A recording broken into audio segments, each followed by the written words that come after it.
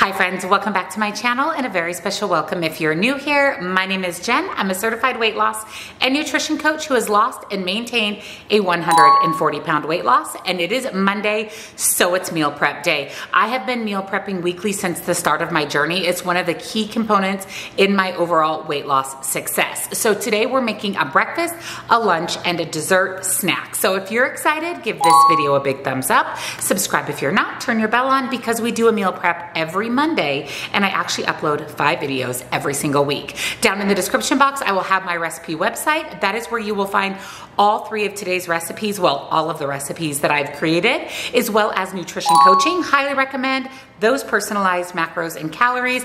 That is what I follow to lose and maintain my weight loss, as well as one-on-one -on -one coaching for questions, accountability, or to talk with me directly. Links, discounts to my favorite things, and come join our Facebook group. We would love to have you. So let's get started on meal prep.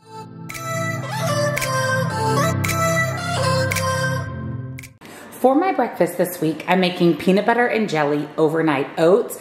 I've been craving something cold for breakfast and I've been craving oats. I love overnight oats. I love peanut butter and jelly. So what could be better? Let me show you what's in the recipe. So you're going to need rolled oats of your choice, chia seeds, any milk. I'm gonna use Fairlife because the extra protein, I'll take it. Sugar-free maple syrup, any type of nut butter. I'm using this natural nut butter. All it is is peanuts and salt frozen strawberries, and some salt.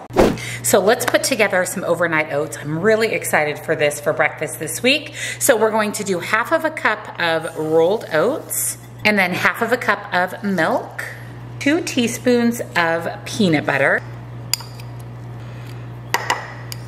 a teaspoon of chia seeds, and a teaspoon of sugar-free maple syrup, a pinch of salt, and then I'm going to do four big frozen strawberries, here is what the overnight oats are looking like. And then I just like to shake to get everything combined. And here's our peanut butter and jelly overnight oats. Let's put together two more jars. I'm making three total. I was worried you blow my reputation But I figured it's not on me Yeah, yeah, yeah The way you're making me shiver Your hands on myself I keep pulling the trigger right This very finger for people like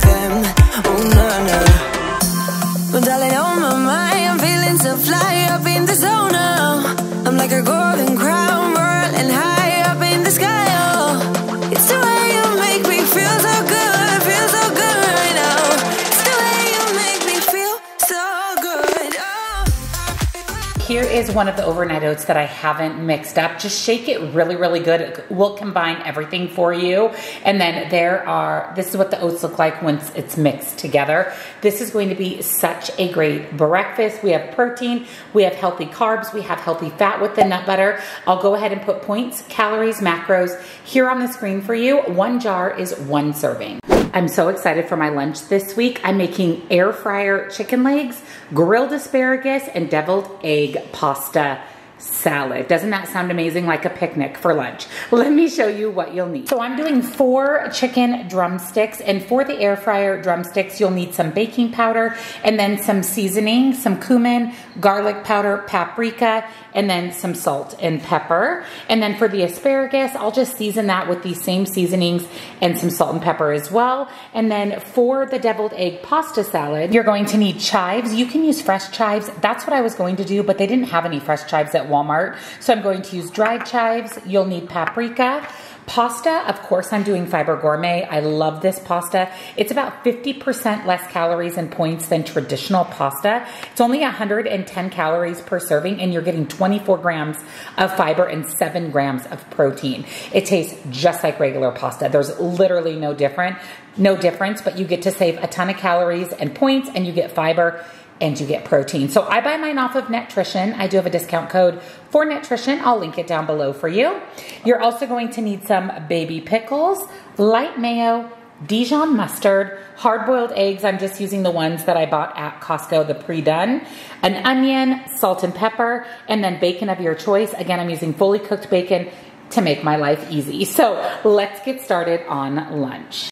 So to make my air fried chicken drumsticks and my asparagus, I'm using my Midea air fryer grill combo. I absolutely love this. The bottom is an oven, so you can grill your veggies, you could do potatoes, whatever your preference. You have both an air fryer and an oven in one. It is so handy to have. The quality of this is fantastic. So the first thing we're going to do is mix together all of the seasoning for the chicken drumsticks. So we're going to start with half of a teaspoon of baking powder half of a teaspoon of cumin, half of a teaspoon of both salt and pepper, half of a teaspoon of garlic powder, and then a full teaspoon of paprika. And then I'm just going to mix all of those spices together. And then I'm going to place my chicken drumsticks on a cutting board and we're going to pat them dry. And then I'm going to spray them lightly with some nonstick cooking spray. And then we're going to rub the seasoning on the drumsticks and we'll flip them over and repeat. I have my air fryer, the top portion, 400 degrees, have it set for 10 minutes. I'm going to allow it to warm before we actually put the chicken drumsticks in. What I love about the Midea air fryer is it's dual meals with one air fryer. It allows you to choose the air fryer function in the upper compartment and roast function in the under compartment at the same time to sync the finish of two dishes, which basically means you can easily cook two dishes with different cuisine methods by using one air fryer fryer. It has independent control, even heating with three elements in two separate baskets, toaster oven and air fryer, and precise zone temperature control creates a crispy and juicy results. Air fryer basket is a large six quart basket and the lower oven is a five quart baking pan that provides 11 quarts total of large capacity cooking. The air fryer has eight preset menus, air fry, grill, dehydrate, bake, roast, broil, reheat, and toast. The app has 50 plus recipes at your fingertips. The air fryer is amazing for oil-free baking for ultimate crispiness. 360 degree high speed hot air circulation drives the airflow all around the basket for a perfect golden finish and crispy, juicy, tender results every time. The 3D baking allows every surface to be perfectly toasted or grilled. It has a 360 degree high speed hot air circulation as well. You can use the sync finish button to have both the upper air fryer and the bottom oven finish at the same time. Making it easy to make two dishes cooked at different temperatures and different times, but have them finish at the exact same time for a hot, fresh meal. It's extremely nice quality and extremely easy to clean. So I have my air fried chicken drumsticks and my grilled asparagus from my Midea air fryer grill combo. Don't forget, I will have it linked down below for you with the discount. So I cooked my pasta per package directions, drained it, threw it into a large bowl. We're going to let this cool. So I halved five eggs and removed the yolk, popped the yolk into a bowl. I'm going to smash that up just a little bit. And basically we're making deviled egg filling for the pasta salad. So we're going to add three tablespoons of light mayo, and about three teaspoons of Dijon mustard, paprika, and you can also add cayenne pepper. It is part of the recipe, but I skipped it because that's a little too spicy for me. And then we're going to do just a little bit of salt and pepper. And then go ahead and mix that filling together. Now we're going to add that directly to the pasta and then stir to coat.